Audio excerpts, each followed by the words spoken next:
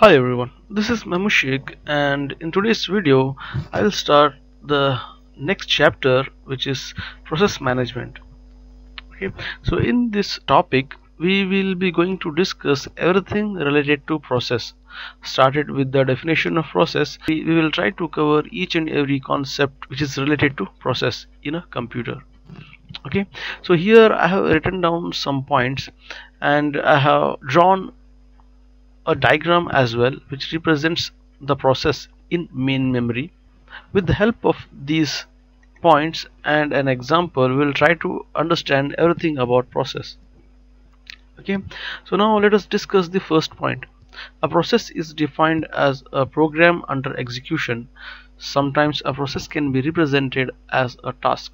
Okay so now here you can see there are two terms a process and a program. Okay so whenever I write any program whenever I write some instructions in a file and once I save that file I will be saving that file inside the secondary storage. At that time when the file gets stored inside the secondary storage we can term it as a program.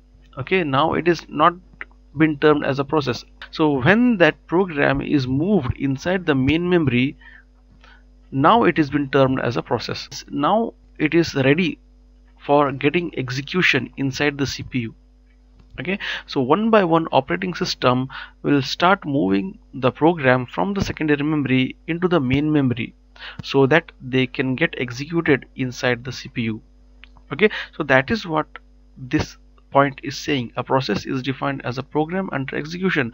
When the program is moved inside the main memory at this point that program is ready for execution. Okay? Now it has been termed as a process. And sometimes a process can be represented as a task as well. Next point is many programs or processes inside computer competing to hold the control over CPU and these processes includes both user processes and system processes. Okay? So since CPU will be very fast okay it will be executing n number of instructions n number of processes within a seconds or a nanoseconds. At any given of time many programs will be waiting inside the ready queue to get executed inside the CPU and these processes may be a user process or it can be a system process okay? So these processes may be the requests of users or it may be the requests of the operating system to the kernel okay next point is process management is the task of managing various processes that wants to execute inside CPU in such a way that leads to increased CPU utilization. Okay so process management is a task of managing various processes in a computer who wants to get executed inside the CPU so that the CPU utilization should get increased. Okay so the purpose here is CPU should not sit idle. There should be enough processes ready inside the main memory so that CPU can execute these processes. Okay. Next point. Whenever any program wants execution in the CPU then operating system will send that process inside main memory. So whenever any program wants the execution from the CPU then operating system will send that program from the secondary storage to the main memory and then from the main memory one by one operating system will send that process inside the CPU so that the process will get executed. Next point. During the period of its existence in the CPU process will be traveling in various states. Okay? Starting from the point where that program was in the secondary memory to the point when it gets the chance to execute inside the CPU during that period process will be moving in various states. Okay? A process will be switched between various states and these states are running state ready state blocked state and waiting state. Okay? Next point is once any process entered in the CPU then another process has to wait for either timeout or completion of input output. Okay? So uh, suppose any process has entered inside the CPU then all the other processes has to wait for that first process to get completed its execution. Okay? Next point.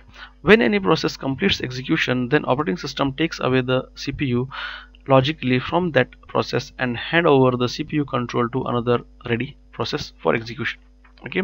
Once any process completes its execution inside the CPU then operating system will take that process and send it out from the CPU and pick an another process from the main memory and then send that process inside the CPU so that it get the execution.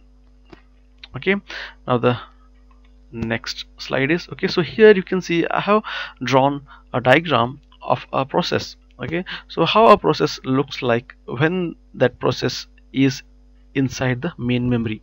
Okay? So it's a diagram of the process when it is in the main memory. Okay? So as you can see there are three sections. One is text section another one is process stack and the third one is data section. Okay? So when the process is in the main memory so it has three sections to get executed inside the CPU okay?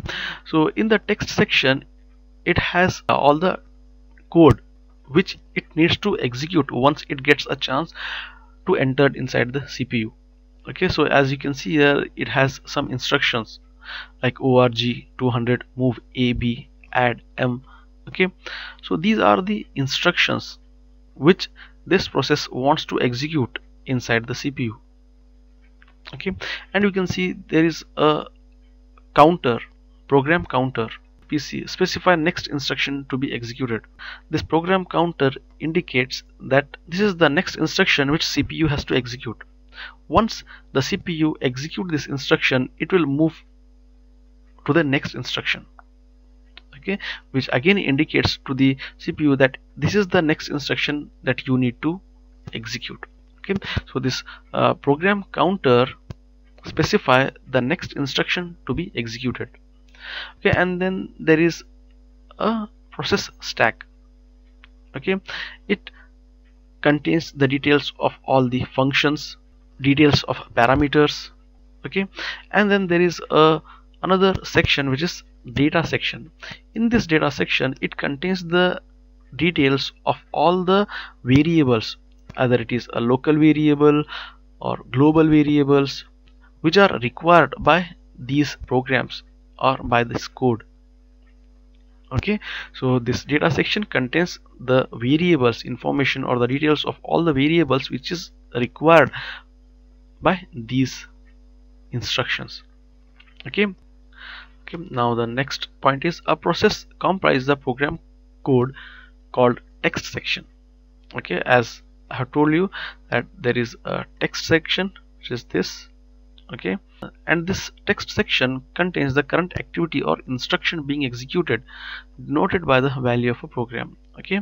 So as I have told you that this text section contains the instruction which CPU needs to execute. Then there is an, another section which is a stack section okay. A process also includes a process stack containing temporary data that corresponds to local variable values return addresses function parameters. Okay. So the next section which I have told you is the process stack section. So in this process stack section it includes the temporary data. Okay. Uh, corresponds to local variable values return addresses and it also contains function parameters okay now the last section is the data section. This data section comprising global variables values okay? As I have already told you that this is the last section of this process which includes the variables which includes the details of variables which are required by these instructions at the time of execution inside the CPU okay? So this is everything about process management okay so here we have just seen the introduction of process management in this video okay? So I hope you guys have understood each and every point of this discussion. If you like this video click on like button and share it with your friends and don't forget to subscribe to our channel and thanks for watching